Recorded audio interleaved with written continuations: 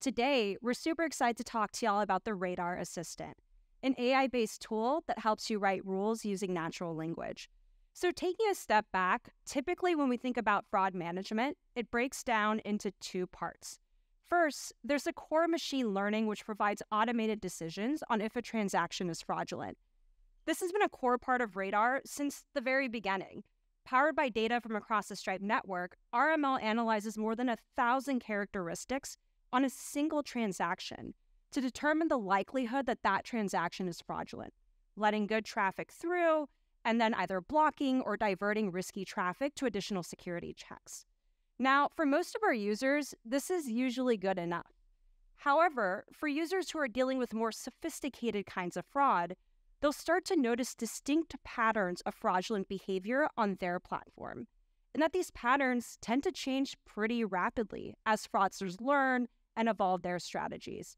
So, this is where the second part of fraud management, rule writing, becomes incredibly crucial. You can think about rules like heuristics you would write to block a certain pattern of fraudulent behavior. So let's imagine that your business is facing fraud from a particular set of ISPs or from VPNs, then you would write a rule to block that particular pattern of fraudulent behavior. Now, the thing with rule writing is that it isn't just one and done. Usually, whenever users block fraudsters, fraudsters attack back. So, this is a continuous process. Users are continuously iterating on and writing new rules. However, translating the insights that you discover into rules isn't always so easy. So, let's meet Vibhav. Vibhav is normally an engineer on the Stripe Radar team, but today he's a fraud analyst at Florence, an AI company that creates custom rugs and doormats using state of the art image generation algorithms.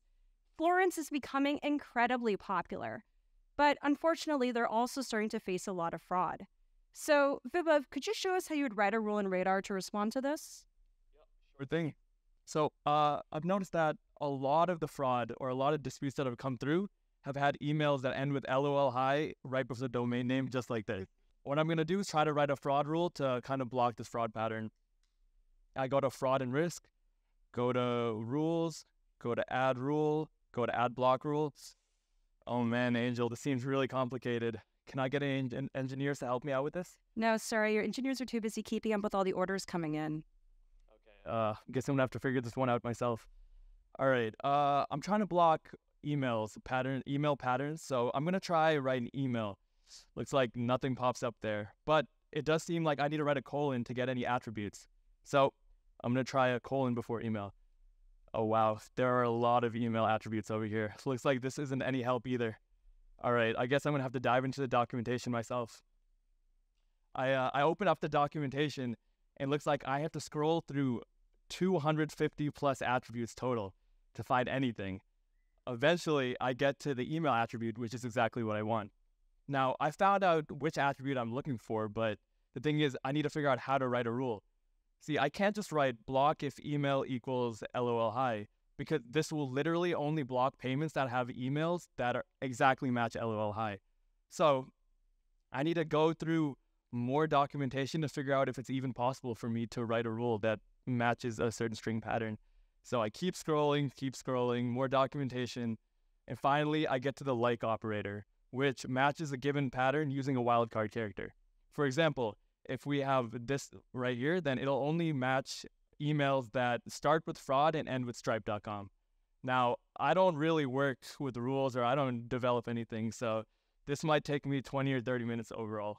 So, taking a step back on any fraud platform or provider, a fraud analyst has to learn the syntax. They have to learn the specific language for that specific provider just to write a single rule.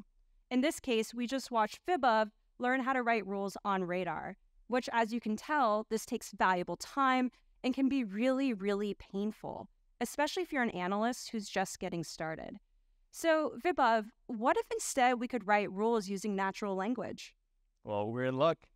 Looks like there's a new radar system that just came. Let's try it out. Now, I'm trying to block emails that have LOL hi in them, right? So I'm going to try disputes are coming from emails that contain LOL hi. Can I block them? Let's see if it works. Now, as you may have guessed, this is using a large language model. This LLM is specifically trained on public radar data to help understand my question. And here we go. Block if email includes LOL hi. Except that's not exactly correct because I'm trying to block all emails that end with LOL hi, not just contain them. So let me talk to Radar Assistant. LOL hi is at the very end. Can I block that? Great thing about Radar Assistant is that it actually maintains context from one prompt to another. So I can refer to the previous rule without explicitly stating it. And here we go. Block is email like lolhi at .com. And so this exactly matches my use case right here.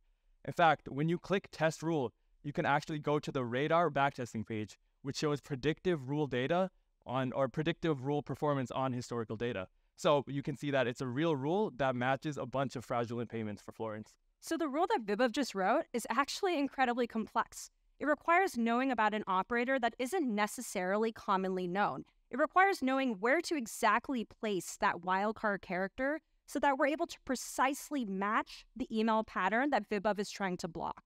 Through the Radar Assistant, we were able to do this in less than a minute. However, we're not done yet. Because Florence is getting so popular, they're also starting to face refund abuse. Now, refund abuse typically happens when customers who have valid cards, who've received these beautiful carpets from Florence, are still requesting refunds. They're abusing Florence's refund policy even sometimes going so far as to file a fraudulent dispute in an effort to get their money back. Now, this is really bad for Florence because it's happening on wool carpets, which is the most expensive kind of carpet that Florence sells. So, this means that anytime Florence loses a dispute or has to refund one of these carpets, they're not just losing the revenue on that carpet, but they're also losing the cost of goods that it took to produce that carpet in the first place.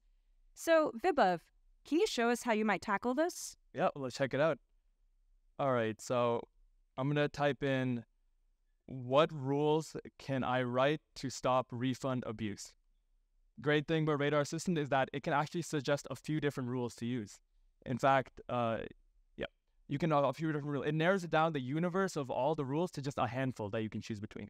And so if I want to choose a refund abuse, if the refund abuse happened on a card, on a customer, or on a billing address level, then we can choose what to use. However, Angel, you had mentioned that the refund abuse was specifically on wool carpet. So let's talk to Radar Assistant. How can I stop this for wool carpets? So Radar Assistant doesn't just use attributes and single signals that it knows about. It can use your business information kind of work on your specific fraud pattern. And here we go. We'll see that it tells you to use a product type metadata uh, and pass in wool carpet, the product we're experiencing more fraud on, so that we can get to kind of the base, the base fraud. The only thing is, I don't really know how to pass in product type metadata. So, you know, you guessed it. We'll go right back to Radar Assistant. How do I pass in the product type metadata? And so Radar Assistant doesn't just help fraud analysts write rules, it also empowers you to get what you want from engineering teams. Just like here, we see that it it writes the code for you in Python how to send in the product type metadata. So now that the work is scoped out and now that the code is written, I can go to the engineering teams and the work will get prioritized. So here we see that Radar isn't just using AI to automate fraud detection. It's also using AI to accelerate manual workflows such as rule writing. Through the Radar Assistant, we were able to generate complicated rules in less than a minute without needing to know any sort of complex rule syntax ourselves. So this means regex, like matching string patterns, handling multiple rule conditions, like multiple and, or, XOR, or exclusion conditions, and even blocking entire lists can now be done using natural language. So if I'm a fraud analyst who's struggling to write rules in Radar today, then I can now easily generate rules based on the insights that I've already worked so hard to discover. And if I already know how to write radar rules, I can still save valuable time. Okay, we're gonna take our Florence hats off and we're gonna put our stripe hats back on. So this feature is currently in a private beta and we're excited to bring it to all Radar for Fraud Teams users later this year. We can't wait to empower fraud teams to fight fraud more efficiently and effectively.